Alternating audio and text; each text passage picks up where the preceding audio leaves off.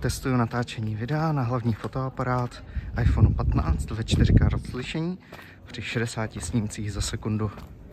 Jdu do kopce, s tím pádem vznikají poměrně otřesy, tak se můžete podívat, jak záznam funguje. Zkusíme se rozhlídnout a vyzkoušíme, jak funguje přeostření. Naprosto plynulý. Testuji záznam selfie videa na iPhone 15. Musím říct, že telefon se bravurně drží v jedné ruce. No a natáčím ve 4K rozlišení při 60 snímcích za sekundu.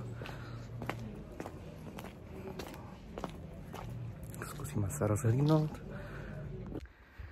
Testuju natáčení videa na iPhone 15 ve 4K rozlišení při 30 snímcích za sekundu. Vypadá to na první pohled, že si s tím telefon poradí na výbornou. Nyní vyzkoušíme úplně tu samou scénu, nicméně ve Full HD rozlišení.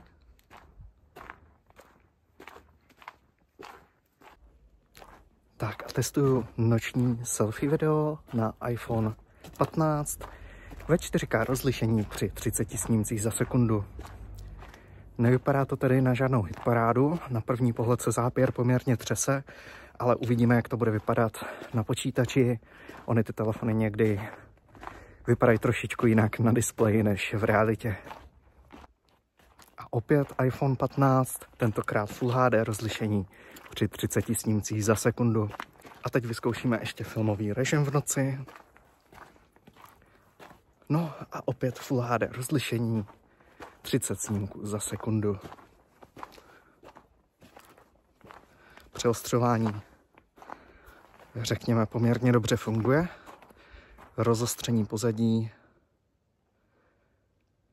žádná hitparáda. paráda.